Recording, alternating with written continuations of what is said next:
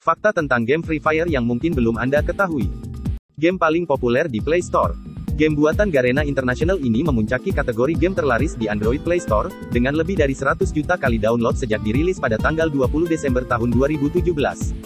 Saat ini kepopulerannya bisa dibilang hampir membuat reputasi PUBG Mobile berkurang walaupun sama-sama bergenre Battle Royale.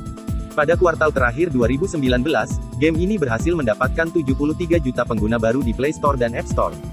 Sebanyak 90 juta dolar AS atau 1,3 triliun berhasil mereka dapatkan pada kuartal pertama 2019. Secara keseluruhan, Garena Free Fire tumbuh 81% dibandingkan tahun 2018, dan Brazil merupakan sumber utama jumlah pengguna karena menyumbangkan 14,6 juta pemain baru. Mempunyai server lokal yang lebih cepat. Game Free Fire memiliki server lokal yang berlokasi di Indonesia, membuat jaringan jauh lebih stabil dan cepat. Permainan pun jadi lebih lancar jaya dan minim gangguan. Berbeda dengan server PUBG Mobile yang servernya masih lintas benua. Gamer community yang solid. Dengan jumlah fans serta pengguna salah satu yang terbanyak di dunia, banyak sekali komunitas game Free Fire yang sering mengadakan meet and greet serta gathering dengan sesama penggemar yang menjadikan game ini memiliki komunitas yang solid. Komunitas lokal ini tumbuh di kota-kota besar dan kecil, mereka aktif mengadakan event dan kejuaraan seperti mini turnamen dan lain sebagainya. Mempunyai kontrol Auto M. Berbeda dengan PUBG Mobile, Free Fire mempunyai kontrol permainan yang disebut Auto M, di mana Auto M inilah yang membuat gerakan karakternya menjadi lebih cepat dan mudah dikontrol. Selain itu, saat Anda menaiki kendaraan, kontrolnya pun sangat nyaman untuk digunakan, coba saja Anda bandingkan antara Free Fire dengan PUBG Mobile jika tidak percaya. Free Fire memiliki zona UAV.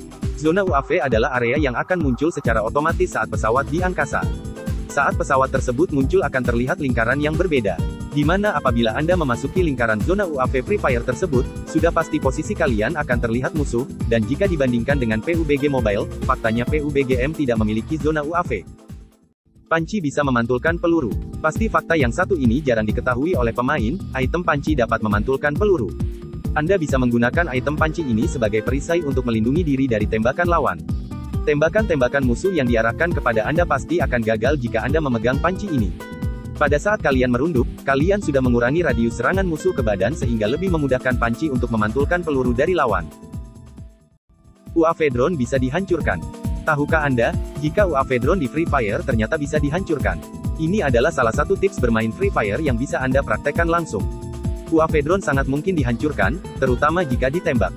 Anda bisa menggunakan atribut silencer pada senjata terbaik Free Fire milikmu untuk menghancurkan UAV drone.